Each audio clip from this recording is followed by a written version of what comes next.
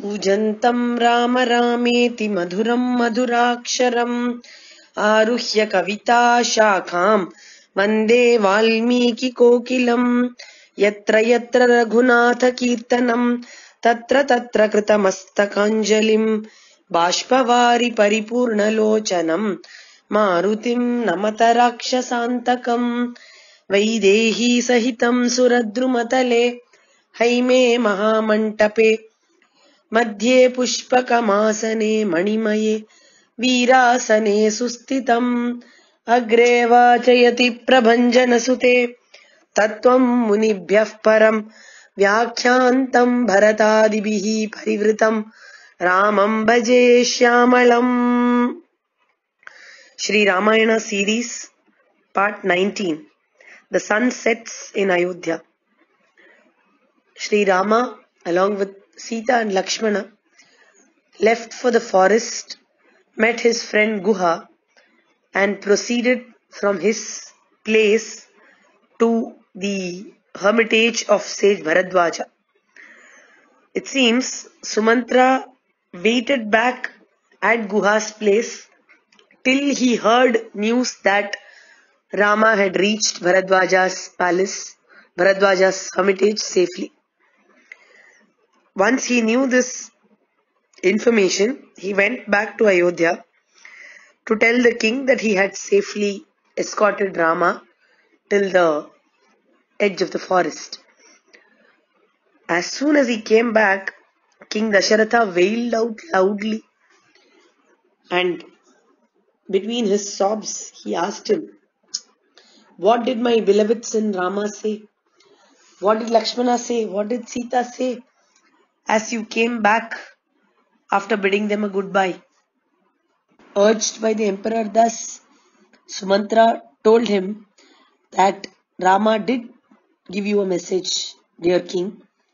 He said, Tell the king that joining my palms, I offer respectful greetings with bent head to the king and tell him that I shall strictly follow the prescribed course of conduct, never go back on my words, and always save his glory, name, and the pride of his dynasty. I shall do so always, he said. And uh, O king, he has also given a message to his mother Kausalya. What was the message that Rama gave to Kausalya? It seems he said that Kausalya should continue remaining devoted to her husband, King Dasharatha, and always stick to righteousness. And very importantly, Rama told through Sumantra that his mother Kausalya should treat Kaikeyi as her sister and as somebody who is kept in high esteem by the king. He said that please do not get angry with Kaikeyi because you may consider her responsible for all these things to happen. But that's not true. That's destiny. So please do not be disrespectful to Kaikeyi. This message he had sent for Kausalya it seems. And then Sumatra, Sumantra said he has also sent a message for Bharata. What was that? He said that Bharata too should be told of my welfare and he should be told that please behave justly towards all your mothers. Please do not sideline Kausalya because I am not there. And please respect the king and keep him on the throne till he is alive, though you will be doing all the duties as Prince Regent. Keep him in respect and rule wisely. These were the words of Rama, said Sumantra. Then he said, Lakshmana too spoke in a rather enraged tone.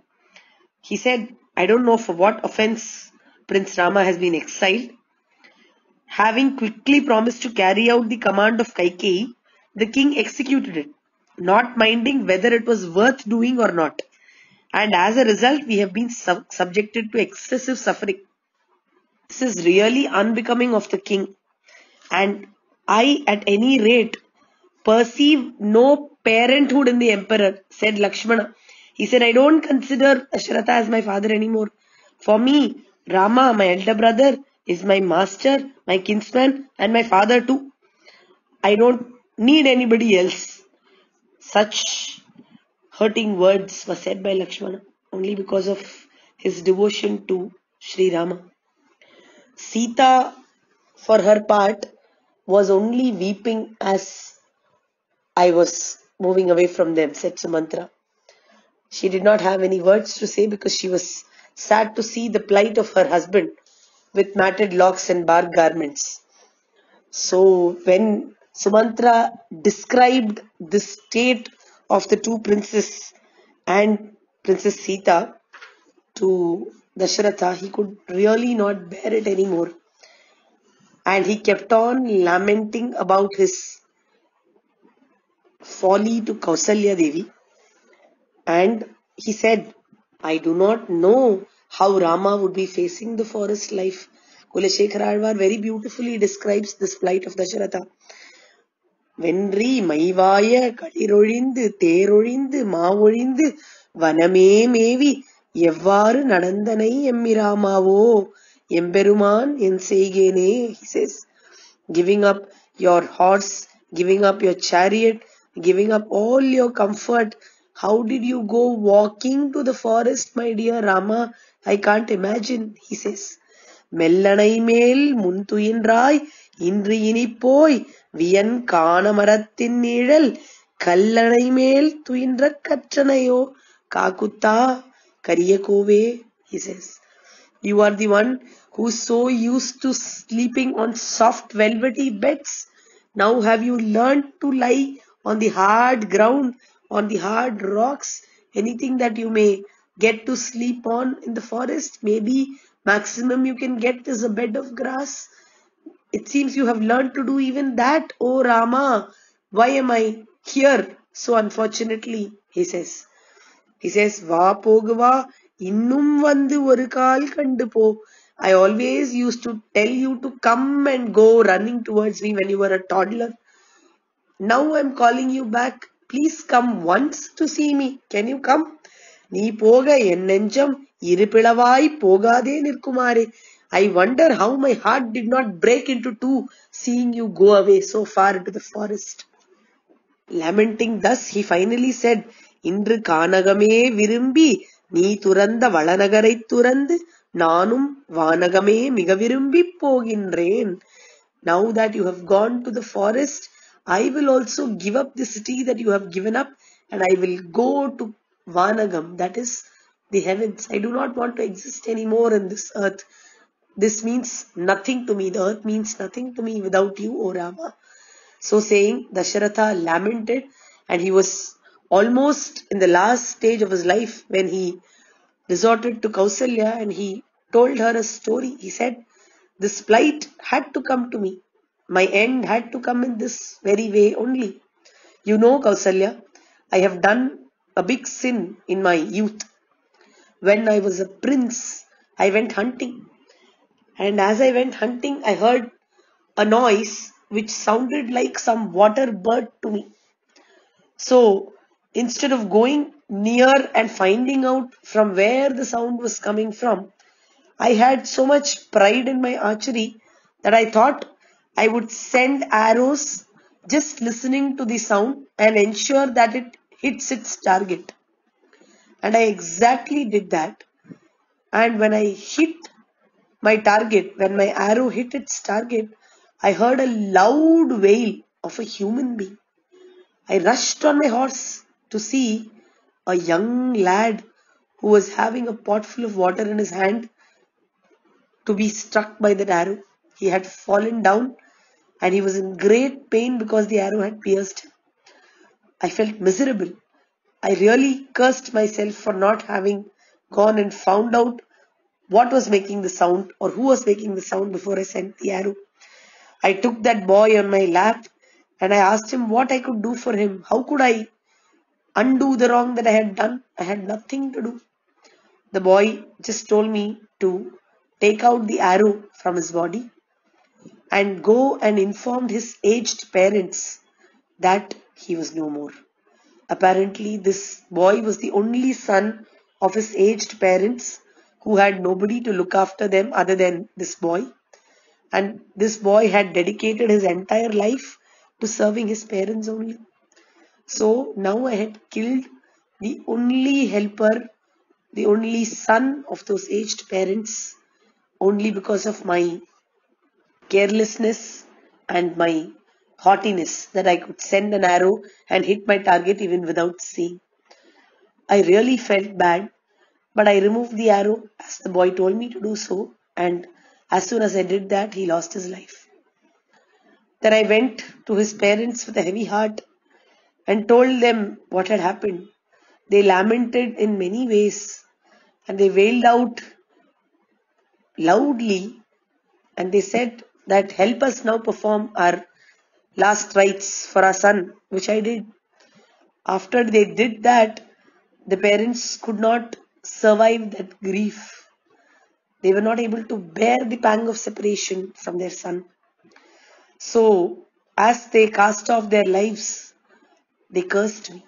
They said, because of your carelessness, carelessness, we have lost our son. And now we are losing our lives because we are not able to bear that pain of separation. You also will meet your death when you are separated from your son you will experience the pain that we are going through now. And that is a curse to you. I have been living with the burden of this curse all these years, O Kausalya, said King Dasharatha. And today I can see the curse taking effect.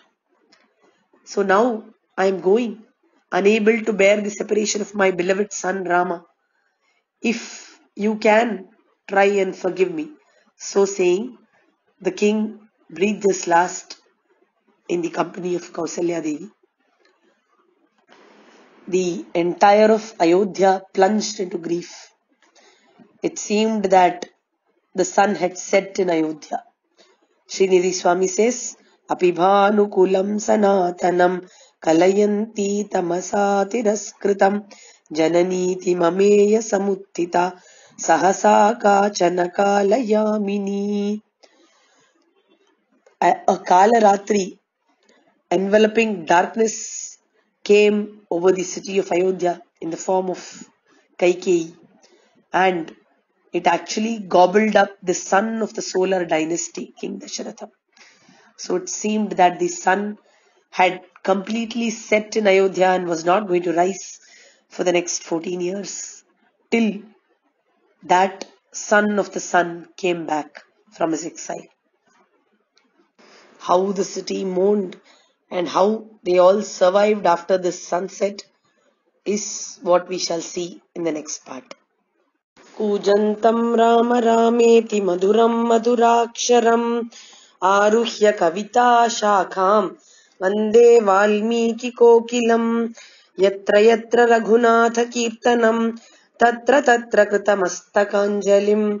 बाष्पवारि परिपूर्णलोचनम् मारुतिं नमत राक्षसान्तकम् Vaidehi सहितं सुरद्रुमतले हैमे महामण्टपे मध्ये पुष्पकमासने मणिमये वीरासने सुस्थितम् अग्रे वाचयति प्रभञ्जनसुते तत्त्वम् मुनिभ्यः परम् व्याख्यान्तम् भरतादिभिः परिवृतम् रामम् भजे श्यामलम् the Ramayana series, part 20 Benevolent Bharata.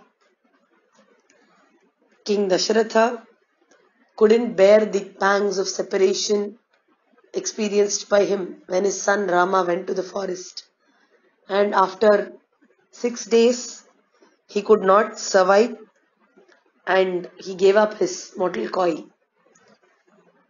Unfortunately, at this time, there was no son of Dashratha available at Ayodhya even to perform his last rites.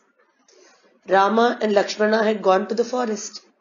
Bharata and Shatrughna were away at Kekeya Desha, their maternal grandfather's house. So, who would perform the last rites of Dasharatha? Rama and Lakshmana couldn't be called back because Rama would not come back and Lakshmana would not come back without him. Rama would never break his vow to come back. So they decided to call Bharata and Shatrughna from Kekeya Desha. And so they sent messengers to Kekeya Desha. Back at Kekeya Desha, somehow Bharata was feeling very low. He kept getting symptoms of ill omens and it seems he saw a dream where he saw a chariot drawn by donkeys and it is said that seeing such a dream is indicative that somebody is going to ascend a funeral pyre very soon. And so he had this suspicion in mind that something drastically wrong was going to happen and he never felt at ease back in Kekeya. He had the urge to go back to Ayodhya. And he told his friends that he was having this feeling. At that very moment, messengers from Ayodhya reached Kekeya. And they saw king, the king of Kekeya. And they said they have come to fetch Bharata and Shatrughna back. But they never said what actually happened because in those times travel would take time. There were no flights or aeroplanes. People had to travel by horses or chariots and if such a news was given, then the journey would become extremely difficult and how would one sustain the grief throughout the way? So it was wise not to give the news there. So what exactly the messengers told Bharata was कुशलास्ते नरव्याघ्र येषाम् कुशलमिच्छसि श्रीश्च श्रीश्च त्वाम् वृणुते Padma युज्यताम् चापिते रथः they said everything is okay in Ayodhya and they seek your welfare. Oh, tiger among men, Bharata, you please get your chariot ready because the goddess of fortune, Shri, is looking upon you with a favor. So, a favor is waiting for you, fortune is waiting for you, and you need to return back to Ayodhya for the same immediately. Now, they put this message forward in such a nice way. They only conveyed that the kingdom of Ayodhya was waiting for him. Why was it so urgently waiting for him? Because it was kingless now. They did not mention that. They just said that some prosperity, some fortune is waiting for you urgently and you need to come. So Bharata as such was disturbed in mind. Nevertheless, he did not take any wrong meaning or did not brood over too much into the meaning of this message and he immediately started. It seems the king of Kekeya bestowed gifts and all on him, but he was in no mood to take them now because of his urgency to return. He felt the urge to return. So he returned back swiftly on his horse to Ayodhya. But as he entered, he found that the city had a cheerless, deserted look. And he was brooding and speculating as to what could have been the reason for this. He kept speaking to the charioteer all about it. And he entered the palace in a very dejected state. He entered his father's palace. Not finding his father there, he went to his mother's palace. Because normally he would find him there, if not in his own palace. When he came to his mother's palace, his mother Kaikeyi came and hugged him. And actually, she was in a less mournful and more happy mood compared to others. She candidly told Bharata about his father's death and she attributed it to Rama's exile and admitted that she was responsible for his exile. Then she comforted him and told him that now you have to get yourself installed on the throne because that is the second boon that I have asked for. Bharata listened to this and swooned away. He was just not able to take it. And he said he needed to be taken to the presence of his father immediately as soon as he recovered. He saw his father who was lifeless. Apparently, they had preserved his father's body inside an oil tub all these days. It took about seven days for Bharata to come back, and all this while, the body was preserved inside an oil tub. And he saw his father's mortal coil shed and was so depressed that he said that I feel that my father's life has been drunk by a snake who was none other than his mother who had two boons like the fangs of a snake like how a snake has two dreadful tongues it has a bifurcated tongue like that her two boons were like her fangs and that his mother was a poisonous snake herself निजमात्र समाख्यया बहिः विवराभिक्य कुटुद्विजिह्वया पितरं परिपीतजीवितं भरतस्तत्र ददर्श विह्वलः He was unable to bear this grief and he swooned again and did not know what to do. So he went rushing to the chamber of Kausalya Devi. He felt miserable and could not find solace in anybody other than Kausalya Devi. So he went crying and down his feet. He just surrendered to her, fell at her feet and was crying inconsolably. Kausalya Devi was not too kind to Bharata at that time. She said, You are the reason which poisoned your mother. Her affection towards you poisoned her mind against Rama. And now you have come to me for what? You have come to me to do away with me also, so that you will not have anybody connected to Rama to trouble you. Rama is gone. His favorite brother Lakshmana is gone. Somebody who is faithful to him, Lakshmana, he is gone. His father is gone. And now you want to get rid of me too, right? That's why you have come. What else do you want? If you want, I'll sacrifice my life too. Be happy. Rule Ayodhya. Get onto the throne and she had such cruel words to tell him. But Bharata held firm to her feet and said, Please do not hold me guilty. I did not I did not know anything before I returned to Ayodhya and you know that. I was not even present here. And you also know of my great love to Sri Rama. And I always want to remain his faithful servant. If you don't believe me, then I'm ready to take any number of oaths that you want to. If what I am say, saying is not true, then let me become the most vicious one in the world. Let me get the sin that attaches to a master who robs his servant of his resources. Let me get attached to the sin of those bearing enmity to a king who protects his subjects like offsprings. Let me get all possible sins of the land of Whoever are present as sinners in this land, let all those sins come to me. Let the sin of having another wife come to me. Let the sin of being childless come to me. Let the sin of not taking care of parents come to me. So on and so forth. He took umpteen number of vows and oaths in order to pacify Kausalya and make her believe that he was a genuine well-wisher of Rama. On hearing this piteous wail of Bharata, Kausalya's heart moved and she believed that Bharata indeed was genuinely fond of Rama and that he did not want the kingdom for himself. Then sage Vasishtha came and told Bharata that now a duty was waiting for him. So he had to go and perform his father's last rites, which he did with a heavy heart for 13 days. And on the 14th day,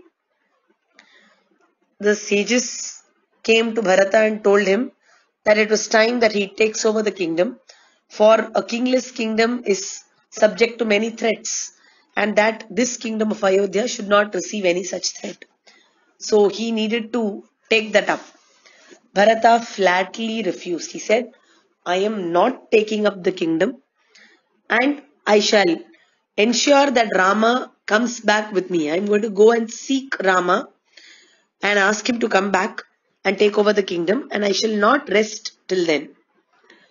At this time, Shatrughna was so irritated with Kaikeyi that she was the sole reason for all these things happening. So he was very irritated with Kaikeyi and he used a lot of harsh words towards her. And at that time he found this Manthara, the person who poisoned the mind of Kaikeyi and he was about to slay her. At this juncture, Bharata said these beautiful words. He said, Shatrughna, please spare her. It's not her fault. न मंथराया, न च मातुर दोषो नज्ञ it is not the fault of this Manthara then whose fault is it O brother is it the fault of Kaikeyi is it that Manthara the small minded one came and told Kaikeyi but Kaikeyi could have well warded off her speech her teachings and gone about her own virtue is way But she did not do that.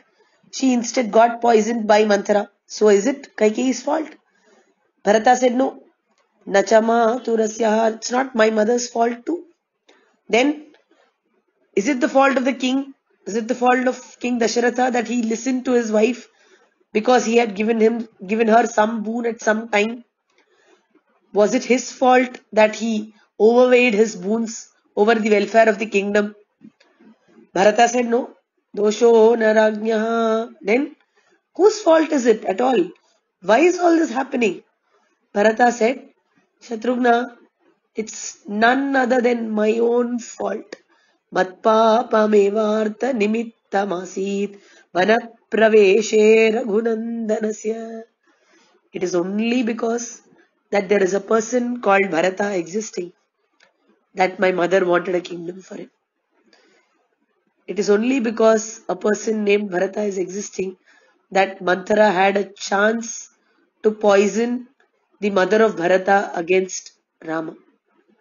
It is only because a person called Bharata is existing that the great Rama had to go on exile leaving behind his palatial comforts. It is only because a person called Bharata is existing that the great emperor Dasharatha had to meet such a tragic end. It's all because of my sins. It's all because of my existence. O Shatrughna, said Bharata. This is why he was called as Bharata. He was the one who took all the bhara on himself, all the burden on himself. Was Bharata at fault at all? No, he was not at fault. He was not even present there when all this happened. And he tried to explain this to Kausalya Devi. She understood. But then Bharata finally thought it was his own fault. Bharata initially had used harsh words for Kaikeyi too. But when he sat back and thought, he really thought that it was really not anybody else's but his own fault. This is the greatest quality of a devotee, it is said. This is Swarupa Jnana, Atma Guna. When one takes up the charge of a mistake on himself when he is actually not at fault. Only the greatest of devotees can have this quality. And the one having this quality is the closest to the Lord. That is why Lord Rama was so fond of Bharata. How fond he was of Bharata, we shall get to know when we see in the next part.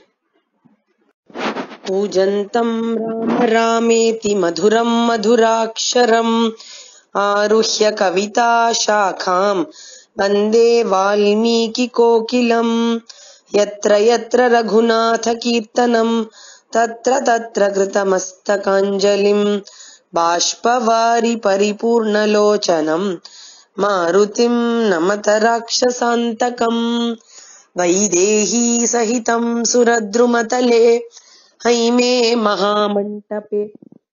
मध्ये पुष्पकमासने मणिमये वीरासने सुस्थितम्। अग्रे वाचयति प्रभञ्जनसुते। तत्त्वं मुनिभ्यः परं व्याख्यान्तम्।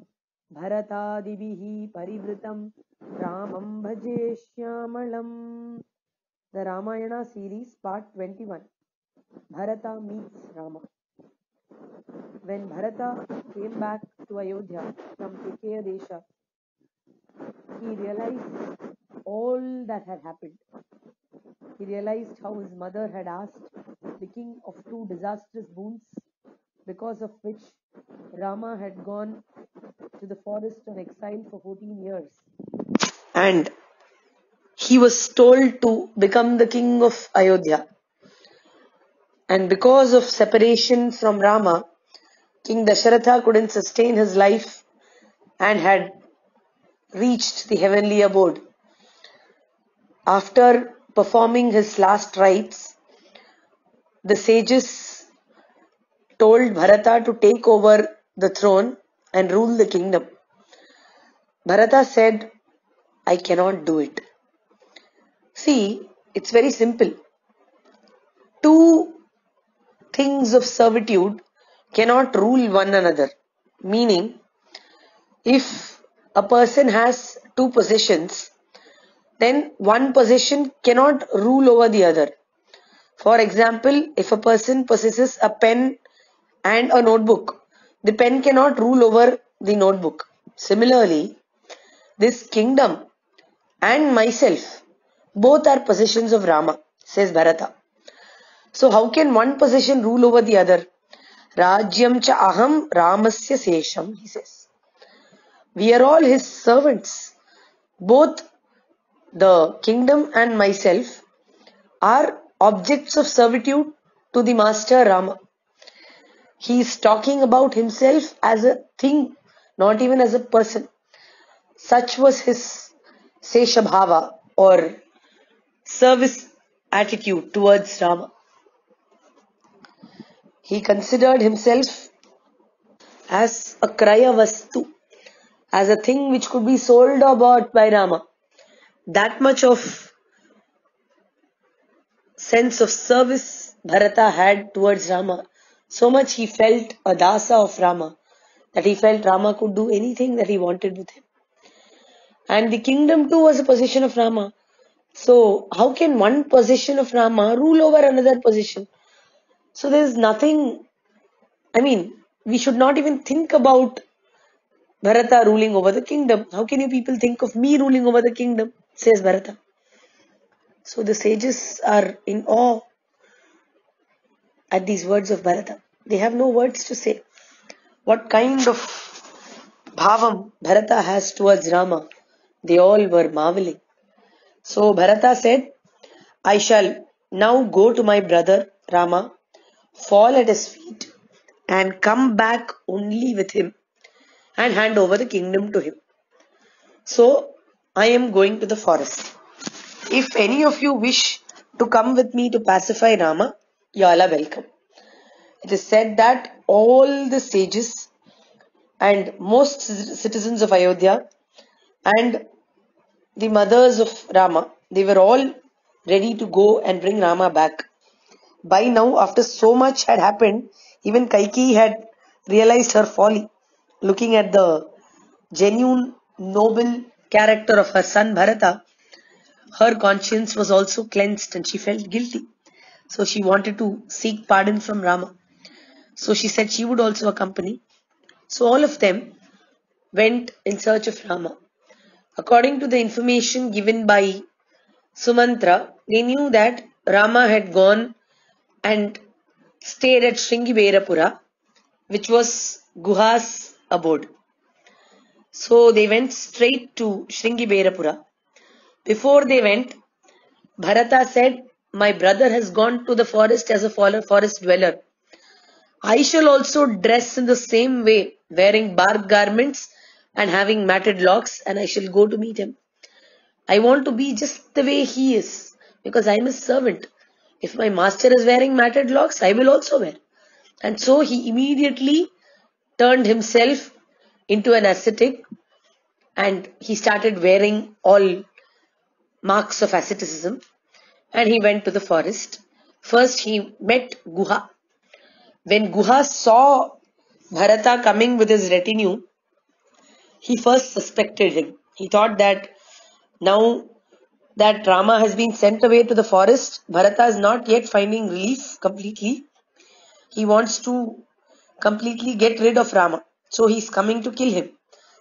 So Guha had this suspicion in mind, but he thought we must make enquiries before coming to conclusions. So he decided to go and speak to Bharata. When he went and saw Bharata from close quarters, he realized that Bharata was dressed like a hermit. He was wearing bark garments and matted locks. So looking at that form of Bharata, he realized that this one is not somebody who would want to finish off Rama. He looks so devoted. Just because his brother is not wearing princely clothes, he has given up his own princely clothes. So my suspicion was wrong. Then he begins speaking to Bharata. Bharata inquires from his heart and soul as to how Rama came there, what did he do, what did he speak, did he eat anything, where did he sleep, and so many questions. This enquiry about Rama by Bharata moved Guha and he thought this brother of Rama seems even better than that brother Lakshmana who came along with him. Lakshmana was beside him and looking after all his well-being and comfort. But this man, this brother, is taking care of his comfort by his mental agility itself. He's thinking so much about Rama in his absence that he's asking me every detail with so much eagerness. He's so wonderful, he felt. Then Guha told him what happened, how Rama came, how he embraced him, and how they had a talk, and how that night Rama and Sita slept on a grass bed, and how Lakshmana and he and all the Nishadas kept vigil the whole night. Then Bharata wanted to see that bed on which Rama and Sita lay. I mean, the bare grass bed that was on the ground. It is said that he saw the grass bed having some marks here and there. Like it was not the way it was laid, it was little turned over here and there. Bharata touched it and said, This must have been created when my Lord Rama was turning and tossing around on this grass bed. Unused as he was to be sleeping on such hard surfaces, he was a, he's a prince who's used only to soft royal beds. So for the first time when he slept on the ground, how he must have felt. He must have tossed and turned. And because of that, these marks have been created. It seems he also sighted particles of gold and pieces of silk thread. He realized they must have come from Sita Devi.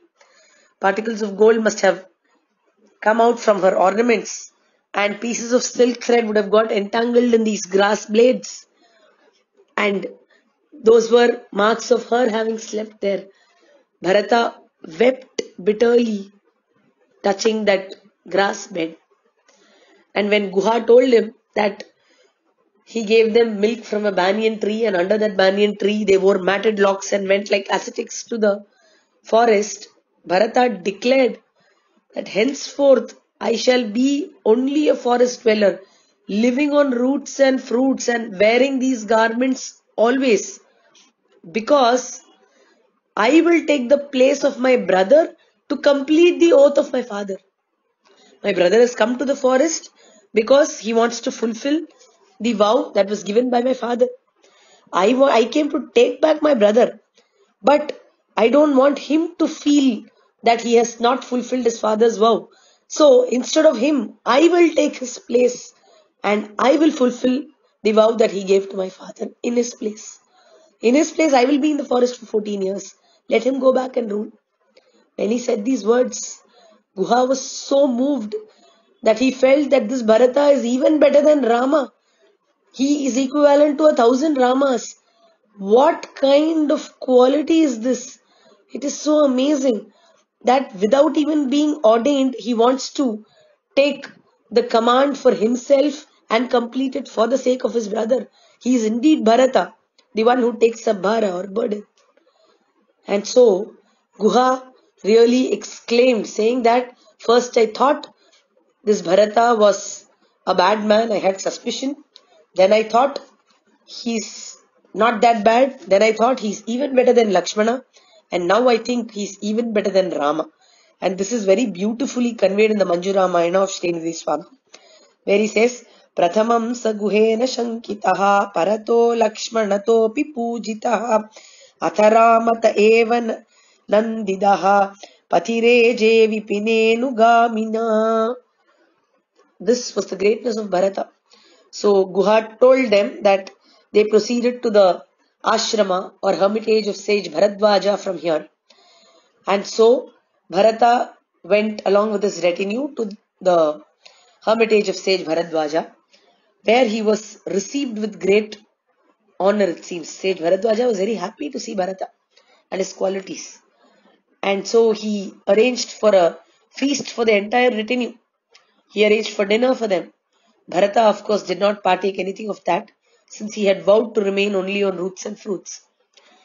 From there, King Sage Bharadwaja told them that Rama, Sita and Lakshmana have proceeded to Chitrakuta mountain, which is nearby, and there they are residing happily. So, Bharata and his retinue proceeded towards Chitrakuta. When they reached Chitrakuta, Lakshmana saw them coming from far and he saw the dust raised by the chariots coming along with the army of Bharat. When he saw this, he realized that it was Bharata coming and since he was coming with an army, Lakshmana too had the same suspicion about Bharata that Guha had.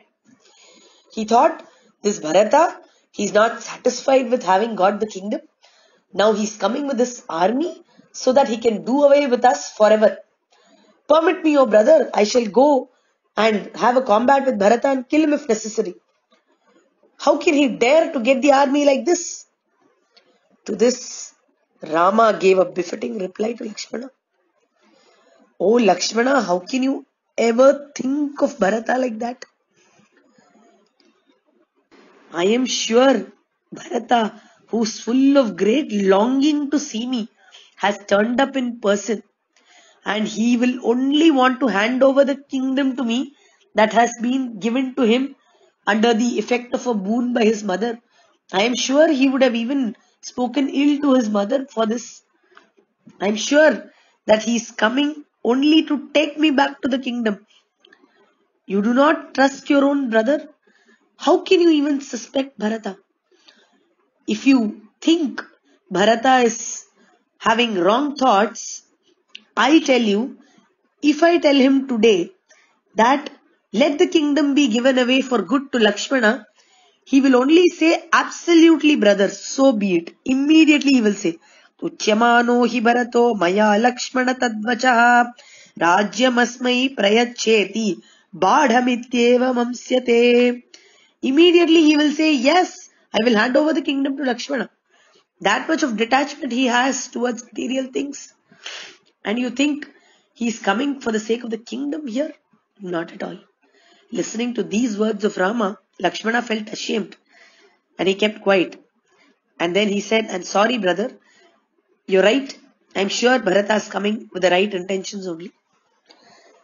At this time, Bharata reached, and when he reached and got down from the chariot, he had so many tears in his eyes that he was hardly able to see. He went to Rama and clasped his feet and could speak nothing but his tears out. At this time, Rama lovingly lifted him up and said, What is this, Bharata? Why are you crying? Kimidam Bharateti Sashruna Dridhamalingyasa Samandavi जगदे जगदे कधन्विना मृदुना पाणितलेन लालितः। Rama lifted up that Rama who was जगदेक धन्विना that one unparalleled archer of the world he touched with his soft hands the husband of Mandavi Bharata and enquired किमिदम what is this Bharata Why is it said that the hands of the archer lovingly touched Bharata? It seems because of being a great archer, the hands of Rama had the strings of bow etched in his hands, so they would not be as soft normally. But when it came to touch Bharata, it developed softness on its own just to pacify him. So he touched in a very soft and soothing manner. Mruduna panitalena lalitaha. Affectionately he asked, What is this Bharata? Why are you crying? And then he asked further, Kushali nagareenu naf pita, Kushali matr ganaf pitripriya, Kushalam janata kutayevam samupagato vanam. I hope everything is fine with our father, with our mothers, with the city, with the citizens. What makes you come here to the forest like this? To this, Bharata replied, I have come here, brother, in order to search for our father's life, which departed seeking your path. You are the very life of our father, and now it's gone because you are here, you are away from him. Iti prichati janaki priye bharato mandamidam jagadatam भवदीयपथानुगान् soon. Piturenveshitumagato'smyaham. I have come in search of our father's life, which is you, he said. Rama got the message that his father was no more now, and he went into a swoon. All three of them, Sita, Lakshmana, and Rama, lamented over the loss of Dasharatha. And when they were able to come back and accept reality, they performed the last rites to their father and again asked Bharata as to what made him come here with everybody, with sages, with the army, with the citizens and with the mothers. The reply that Bharata gave will be discussed in the next part.